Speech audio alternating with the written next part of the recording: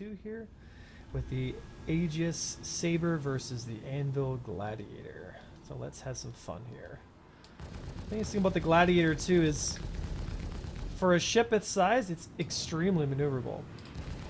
So what we want to do is want to close our distance into the corkscrew, into the rate fight, keep the pressure on as best we can,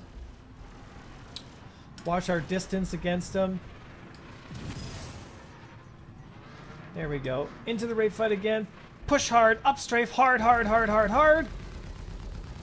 Here we go. Shoot where he's going to be, not where he is. Lots of shots on the Gladiator. Push, push, push, push, push. Come on. On target. And there it is. You gotta get close. You gotta get close in the Saber. You gotta get close. Okay, this is gonna be a fun fight. We're gonna disengage just for a second here, get some speed. Look who's got us tailed. 2.5k anvil arrow. Spin around. Apply a little bit of back strafe here to keep our momentum up. Drop our speed to combat speed. Let him pass.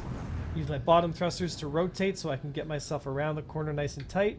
Switch to shields because I got 84 shots in the mag and start my run. He's going to have to close in if he wants to do a lot of damage to me. Again, into the rate fight. Shields. Yeah. There we go. Nice pull, pull, pull over. He needs to close right now. If he's not going to close, he's going to lose that trade. I've got plenty of hit points in the Gladiator.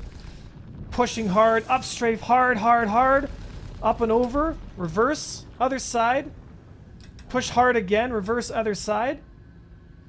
And fight, fight hard for that angle.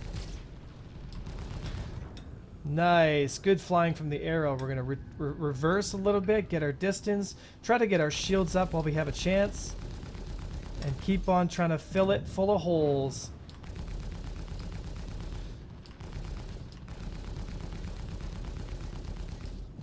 Nice. Close my distance. I'm going to close up a little bit. Watch my trigger discipline.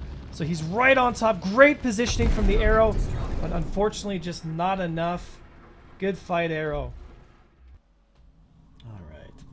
So let's talk a little bit about kind of what was going on here. Uh, and things that we can improve on and also kind of walking through what the Saber maybe should have uh, executed on. So again, larger platform like the Gladiator with not really the greatest turn rate. So we want to really be careful at the distances that we want to engage at. So right now we're sitting at about, eh, 500. When he closes to within about 3, 400 here, we're going to try and walk around him. There's no back strafe being applied right now. This is all bottom thrusters kind of pushing my way through, right? So we're going to try to get above his nose here, roll a bit to the right, like where I'm at, He's giving me a top profile shot. We're trying to force force with some up strafe to get back on target. And there he goes.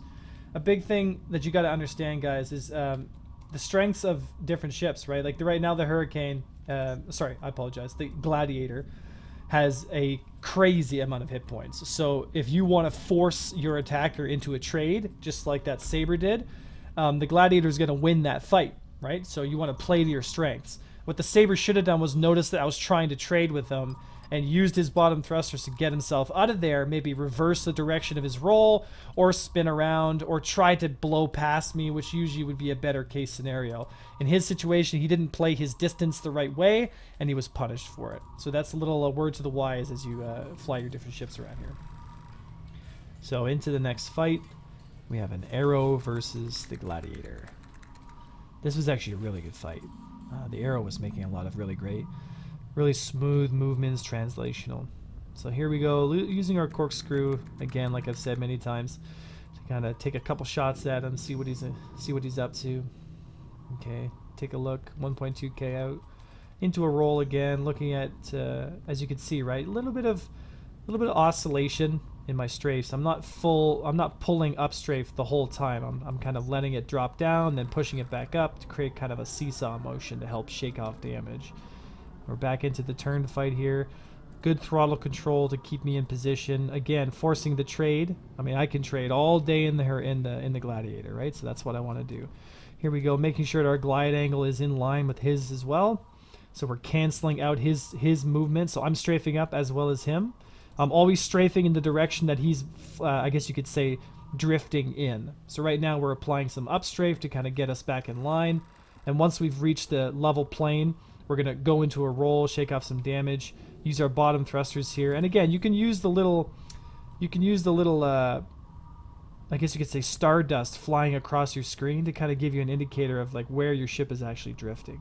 So nice and close in like this. Again, matching his drift with my strafe.